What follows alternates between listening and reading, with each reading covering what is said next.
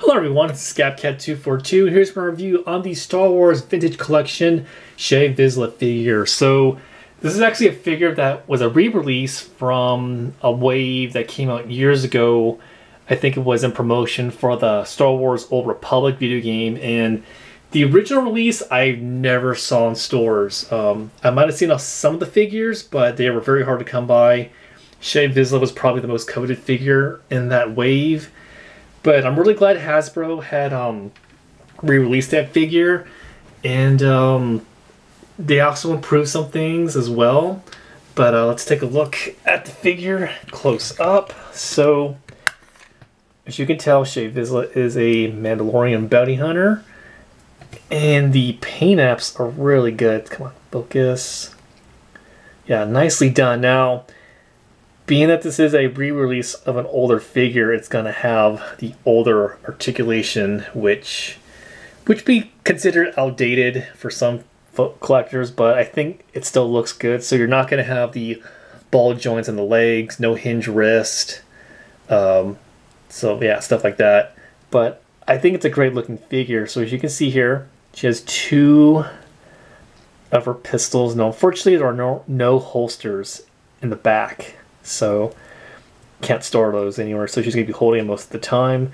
Uh, her jetpack is removable, but it's attached to a hose, which I think can probably peg up, but I don't want to break it. Now her jetpack's quite interesting. It's quite different from most Mandalorian jetpacks, but it's cool design. Oh, and right back, I forgot a couple of accessories. So hopefully I won't have too much dead air. Okay, that was easy. I found. So her other accessories, besides her two pistols, she has a alternate head, so you can just pop this one off, put this one on, plugs back in, and come on, focus. Yeah. So I heard this was actually an improvement over the previous one. I guess the previous figure head sculpt was not that great, so this is an improvement because I did see that figure online, and yeah, that original head sculpt was pretty bad.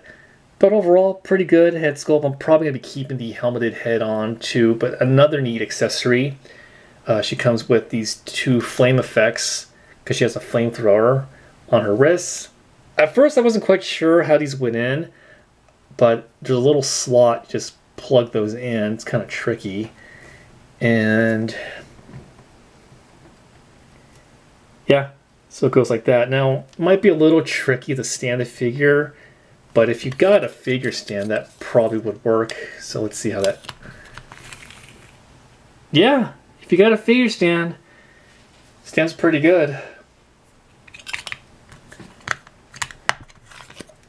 Probably won't be using that a much, but it's a neat little accessory. So just pop the head back in. Focus. There we go. So I, def I would recommend picking this figure up. You can find it. I mostly got it just to fill in my Mandalorian ranks. So yeah, that's my review on this figure.